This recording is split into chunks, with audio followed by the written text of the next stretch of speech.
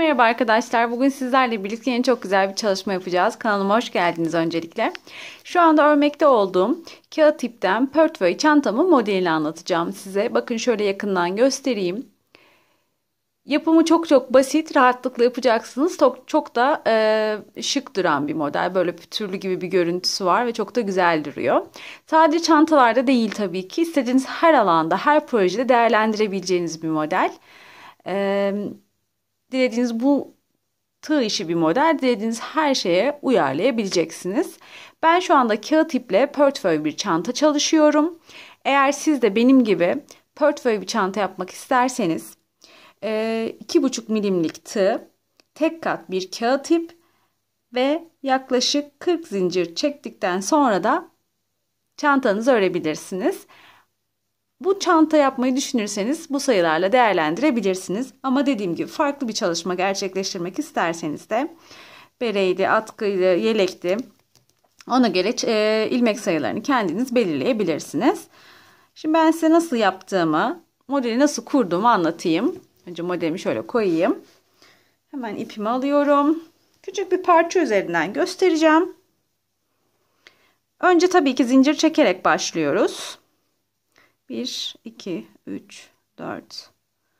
Şöyle bir miktar zincir çekeyim. Şu anda kullandığım ip makreme ip. Kağıt ipli biraz daha zor olduğu için makrame iple daha hızlı ve daha rahat anlatabileceğim için makrame iple gösteriyorum. Şimdi portföy çantamı örüyorken dediğim gibi 40 e, tane kadar bir zincir çektim ama bu benim belirlediğim bir e, rakam. Yani illa size 40 zincir çekmeniz gerekmiyor. E, uzunluğunu dilediğiniz kadar uzatabilirsiniz ya da kısaltabilirsiniz. Şimdi zincirimi çektikten sonra ilk zincirimi atlayıp ikinci zincirime batıyorum ve sıra sonuna kadar bütün zincirlerime sık iğne yapıyorum. Şimdi ilk tabanı oluşturacağım. Minik bir taban. Bu sırada dönüşü ayarlayacağım.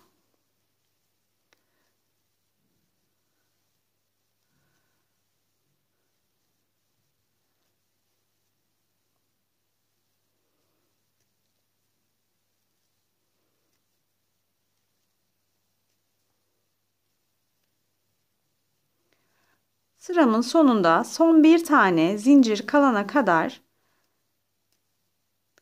zincirlerimin hepsine sık iğne yaparak geliyorum. Son zincirde dönüş sağlamak adına bakın son zincirdeyim. Şöyle aynı noktaya bir iki iki kere batıyorum. Daha sonra diğer karşı tarafa geçmiş oldum. Diğer zincirlere yine birer tane sık iğne yaparak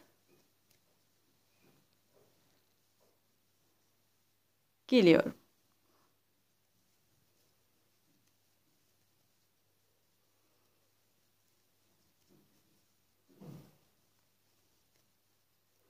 Modeli tabii ki ikinci sırada kurmaya başlayacağız.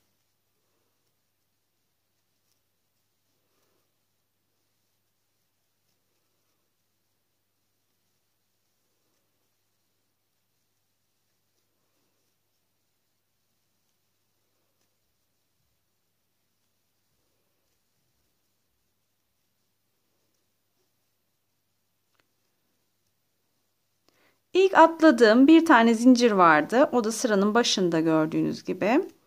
Ona hemen bir ve iki. Ona da aynı diğer tarafta olduğu gibi iki kere batıyorum. Bu taraftaki dönüşü de sağlamış oldum. İlk yaptığım sık iğnenin tepesine batıp sırayı kapatıyorum. Bir zincir çekiyorum ve şimdi sırama başlıyorum. Şimdi arkadaşlar bu modeli kuruyorken ilk önce bakın şöyle görmüş olduğunuz gibi zincirlerimiz tepe noktasında belli. İlk yapıyorken ilk sıramızda e, bu öndeki bize yakın olan kanada değil de arkadaki kanada sadece batarak bir tane sık iğne yapıyorum. Yanındaki sık iğnenin ise direkt içine batıp sık iğne yapıyorum. Diğerine yine bir tane arka kanada batıp sık iğne. Sonrakine yine içine batarak sık iğne.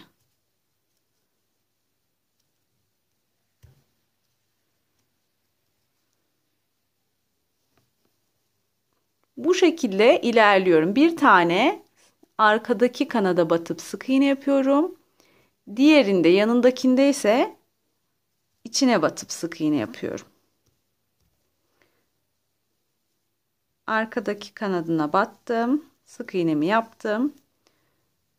Bakın biri kısa, biri uzun oluyor ve aralarda şöyle bir çizgiler oluşmuş oluyor.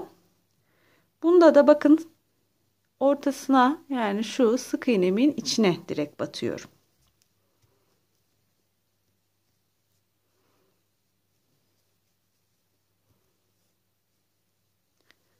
Bu şekilde sırayla devam ettirerek bir tane kanada bir tane ortaya şeklinde devam ederek modelimi kuruyorum.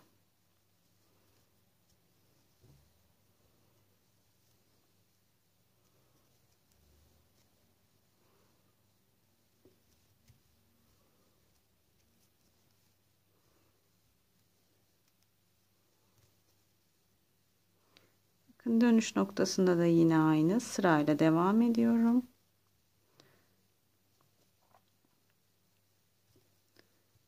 Bir tanesini de içine, diğerini de arka kanada.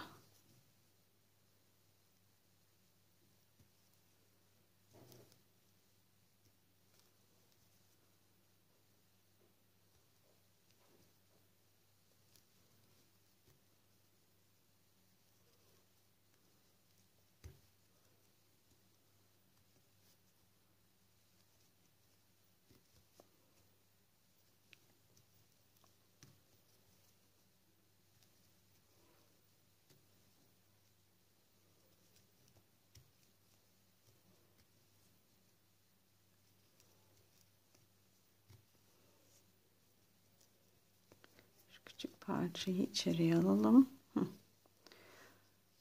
Şimdi şu anda çok çok belirgin değil aslında ama birkaç sıra ördüğümüzde daha da netleşecek. Bir tanesini de içine batıyorum. Bir tanesini arka kanada alıyorum. Bir tane içine, diğerindekinde sadece arka kanada. Çok da sıkmıyorum. Elimden geldikçe gevşek örmeye çalışıyorum.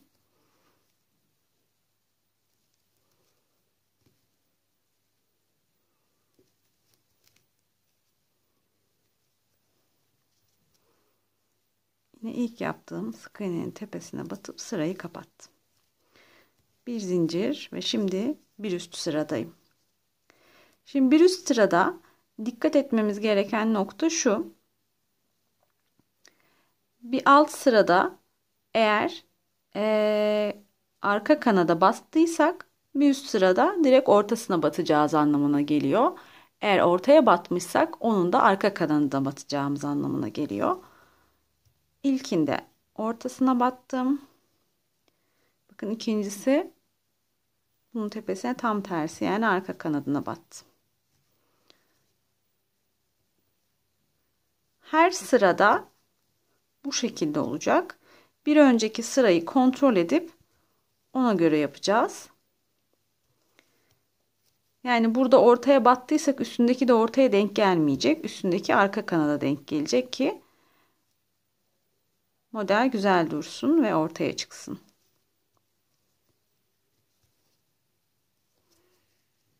Bakın bu şekilde. Şunda kağıt ipimde çok daha net.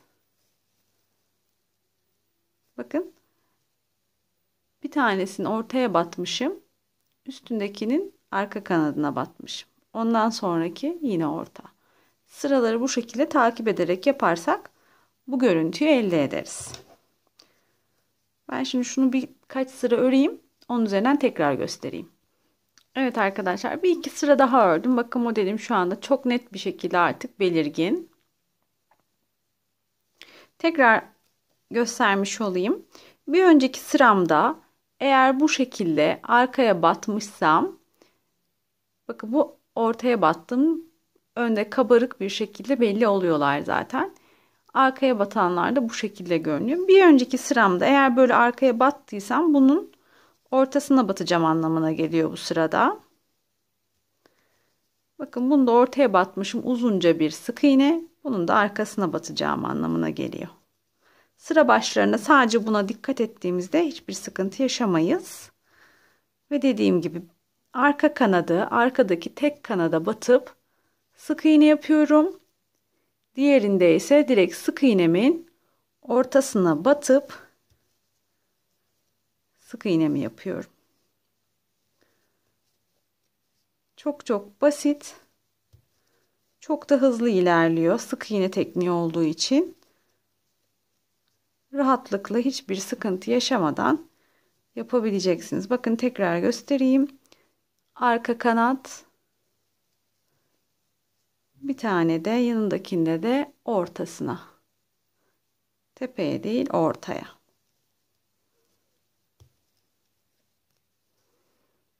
Bu şekilde ilerlediğimizde bu görüntü ortaya çıkmış oluyor. Şu an makrame iple yapıp gösterdim size. Bu makrame iple görüntüsü ikisini de görmüş oldunuz. Bakın içi de bu şekilde.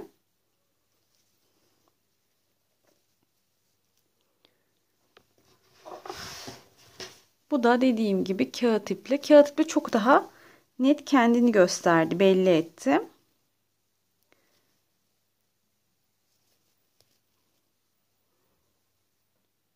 Biraz da daha fazla örüldüğü için şu anda ee, daha net bir şekilde gösteriyor kendini. Sıra sayısı daha fazla olduğu için daha net bir şekilde gösteriyor kendisini. Dediğim gibi çok çok basit, rahatlıkla yapabileceğiniz ve uygulayabileceğiniz bir model. Umarım sizler için anlaşılır bir video olmuştur arkadaşlar. Aklınıza takılan herhangi bir şey olursa yorumlara yazın. Kanalımı takip edenler bilirler. Ben yorumlara mutlaka geri dönüş sağlıyorum, cevap veriyorum.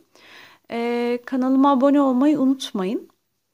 Ee, sonraki videolarımda da görüşmek üzere. Hoşçakalın.